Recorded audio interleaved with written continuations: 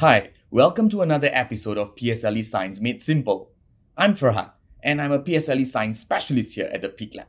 In this video, I'll be analyzing a past year examination question from the topic of energy. I have placed the question in a handout and you may download it for free by clicking on the link in the description box below. So let's begin.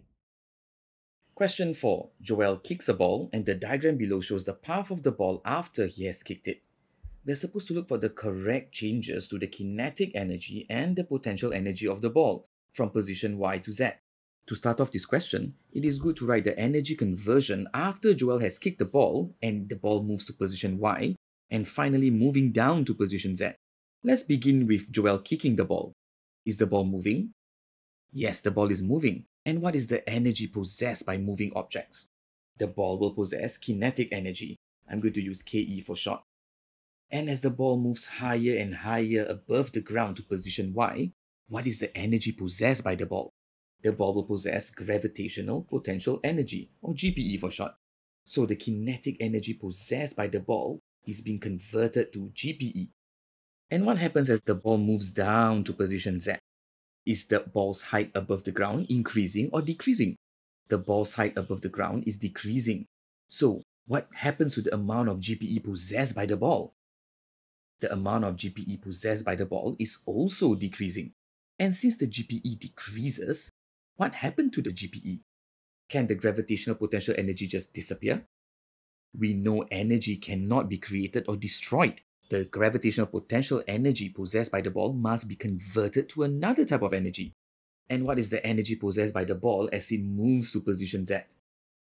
The ball will possess kinetic energy. So the GPE is converted to kinetic energy. Now that we've written the energy conversion of the ball, we can identify the correct change to the kinetic energy and the potential energy of the ball at position Y to Z. Let me highlight that position for you. So, as the GPE possessed by the ball at position Y is being converted to kinetic energy of the ball at Z, what should happen to the amount of kinetic energy?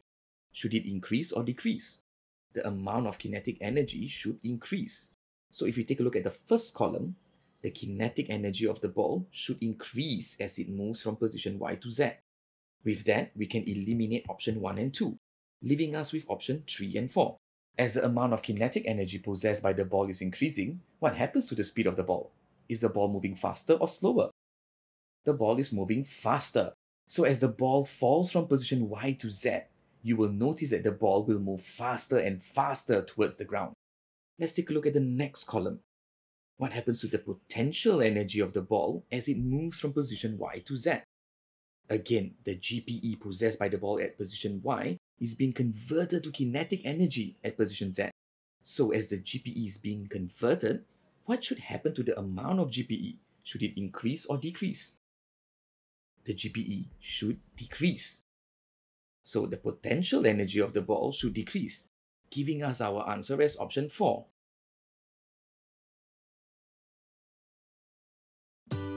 Thank you for watching and I hope you enjoyed this video. If you found this video useful, do give us a thumbs up. If you want to check out the other videos, click on the link on the right hand side. Last but not least, don't forget to subscribe to our channel for more interesting videos. Thank you and I see you next time. Bye!